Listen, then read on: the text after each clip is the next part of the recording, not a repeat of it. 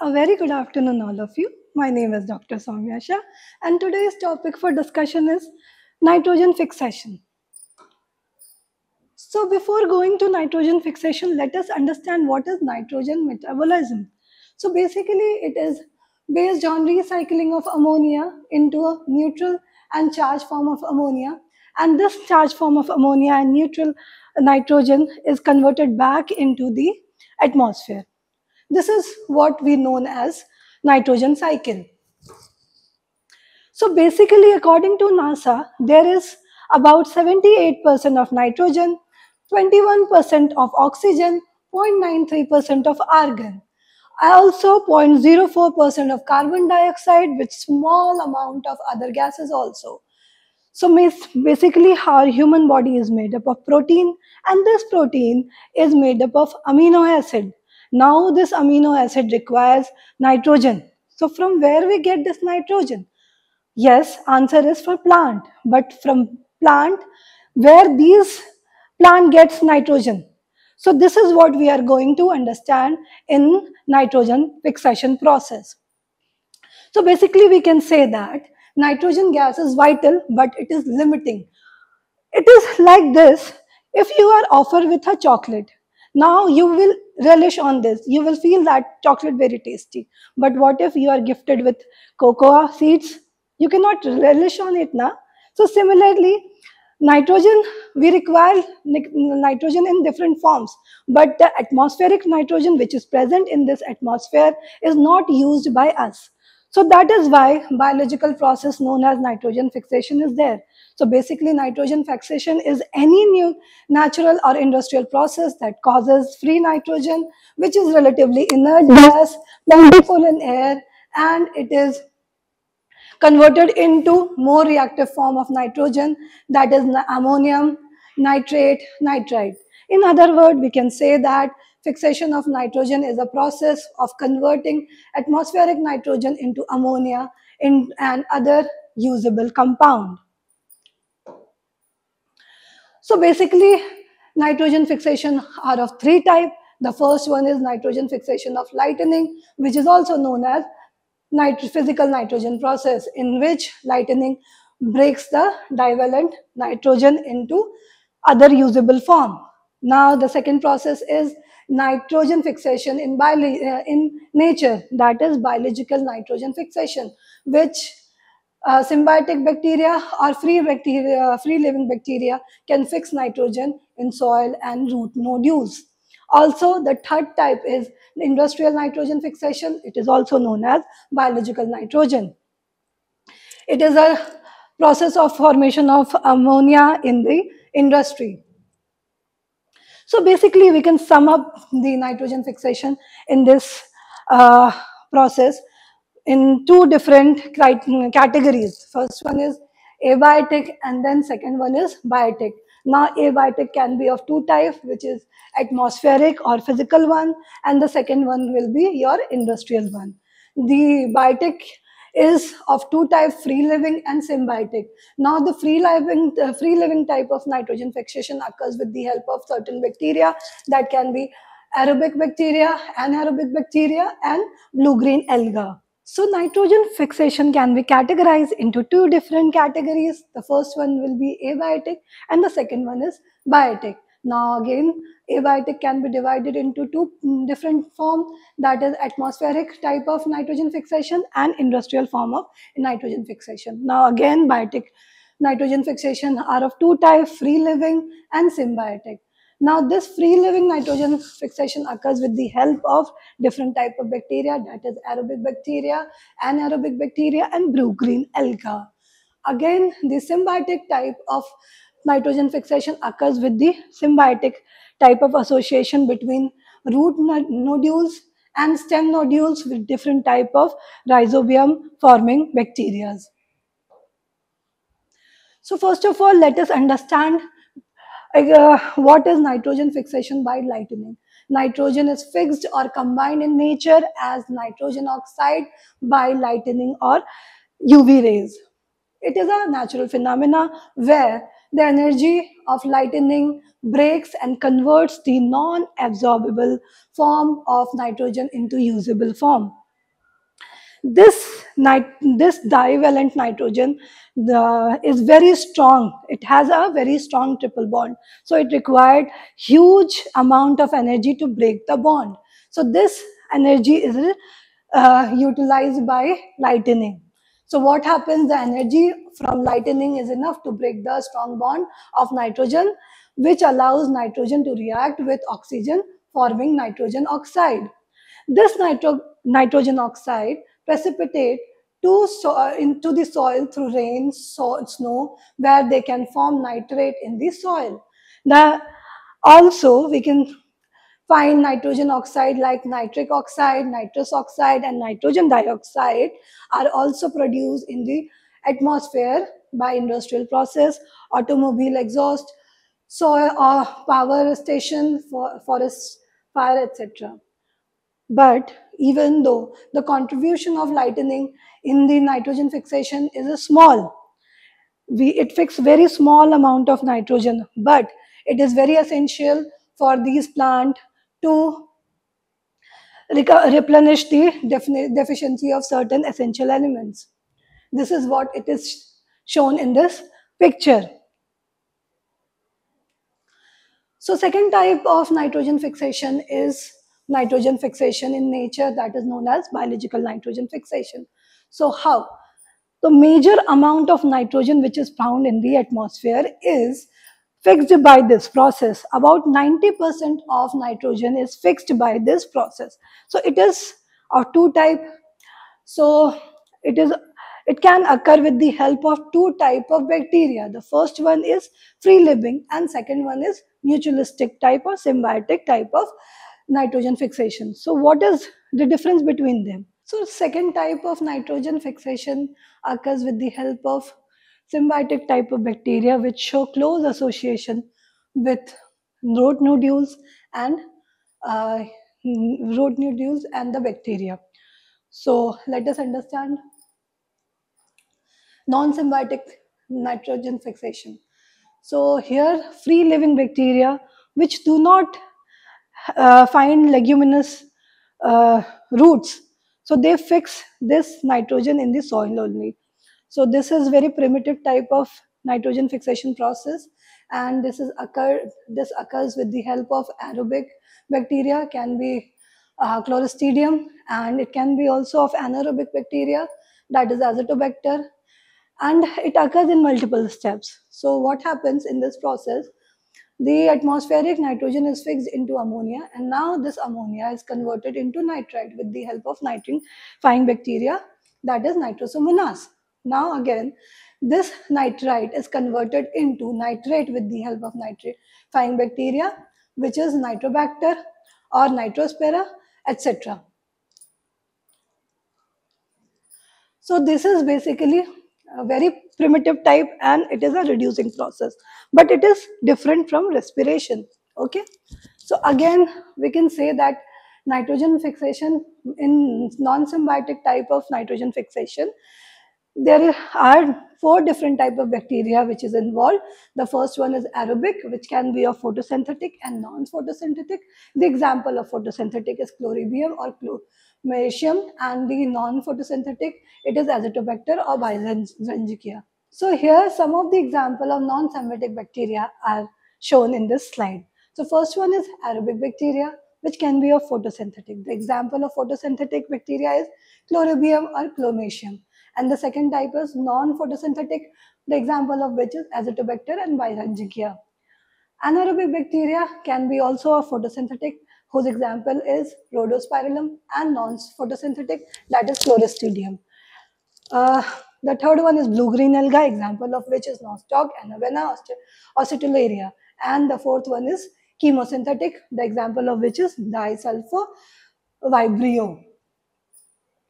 The again the second type of nitrogen fixation is symbiotic type of fixation. So here those leguminous plant they develop special type of nodules on which these type of bacteria reside.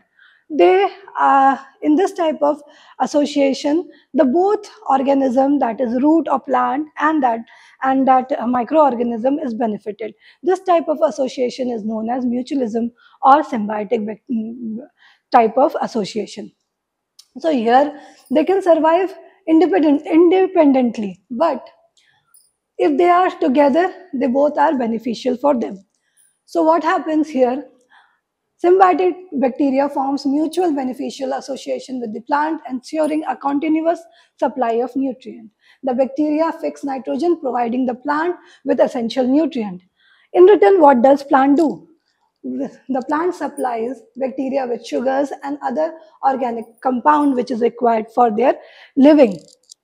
Example includes leguminous root uh, nodules like rhizobium and bradyrhizobium bacteria with legumes like beans and pea. And there are certain non-leguminous plant also that is Frankia bacteria which with elder trees and some other plants.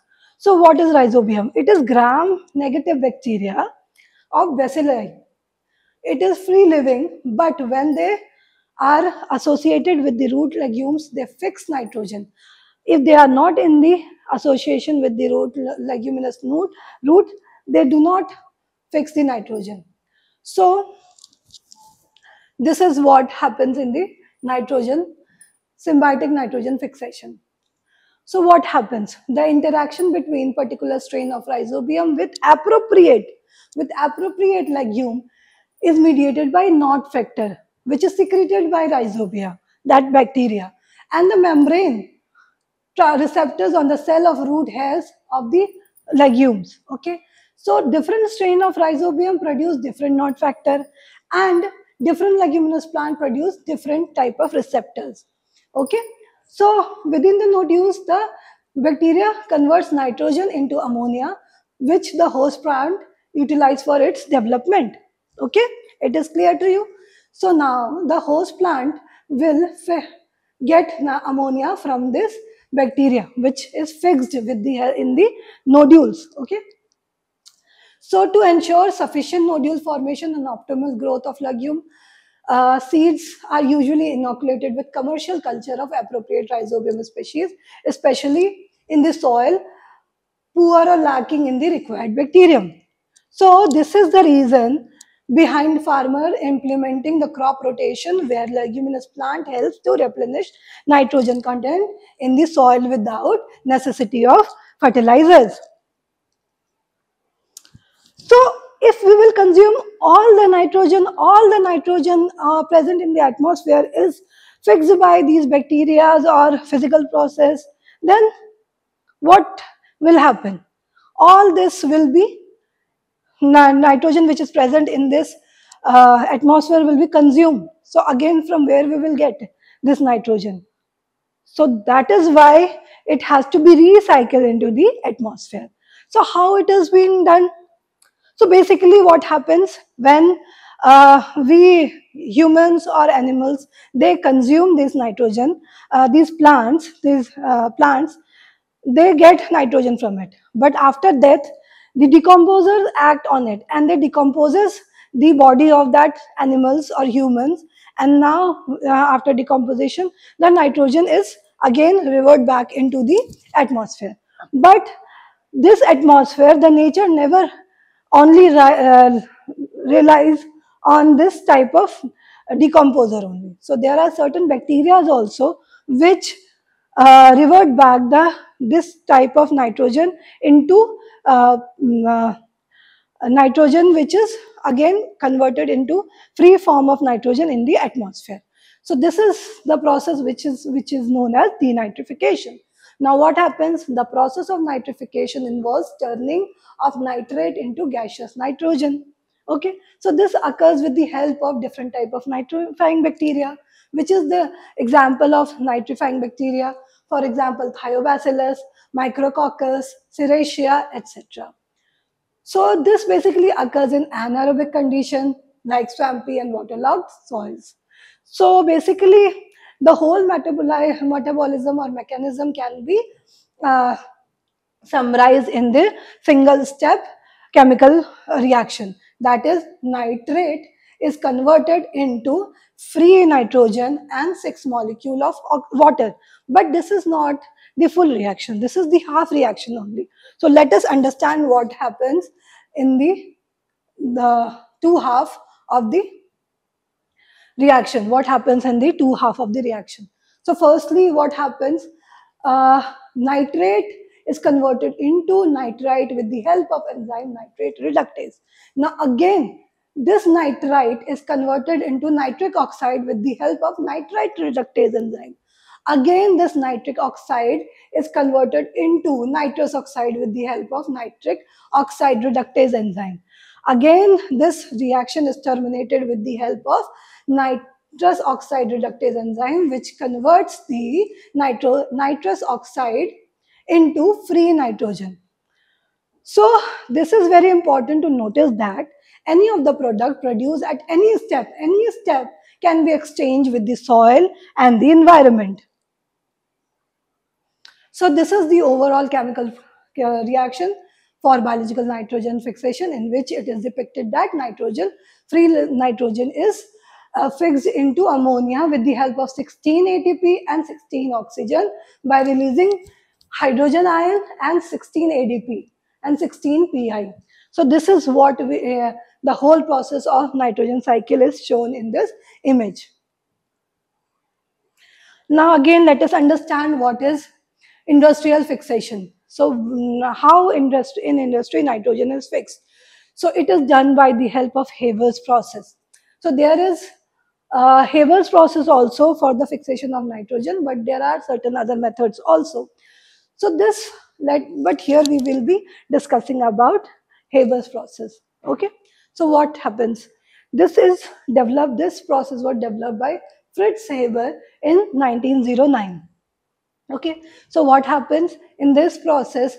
Free nitrogen with the help of hydrogen is converted into ammonia. It is converted into ammonia. But here, one thing has to be applied. Moderate temperature and high pressure.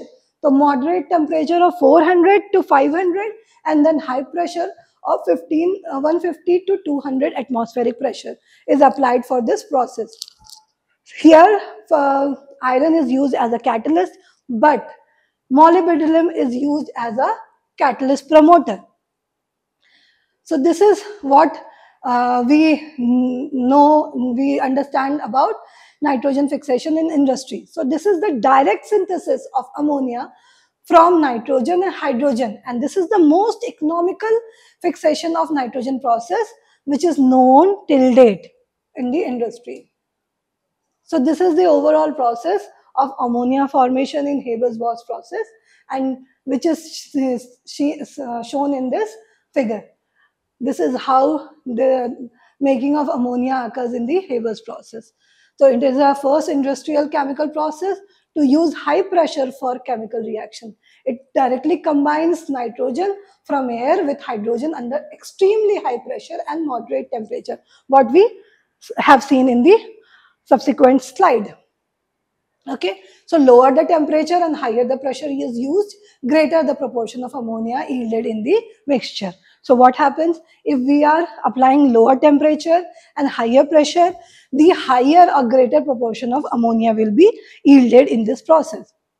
This is what is known as Haber's process. Haber process is most economical for the fixation of nitrogen with the modification of continues in the use as one of the basic process of the chemical industry in the world. So whole physical and biological nitrogen fixation is shown in this uh, slide. So we can see that how nitrogen is fixed with the lightning strike and then how ammonia is formed. Now how ammonia is then converted back. This is what which is depicted in this slide.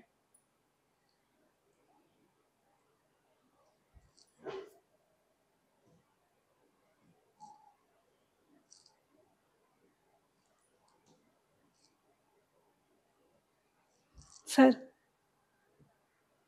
ये हो नहीं रहा है। पर play हो गई थी पर वापस ये?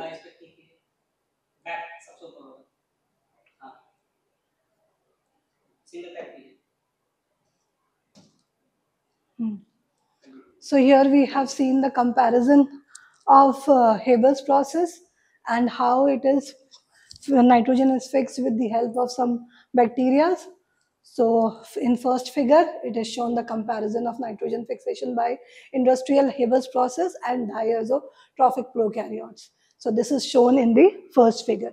And now in the second image, what we are showing, three strategies for how uh, biological nitrogen fixation occurs and how it can be utilized to increase in the crop by improvement of this process in naturally plant association bacteria. This is how what is shown here. And novel node formation, it is nodule formation.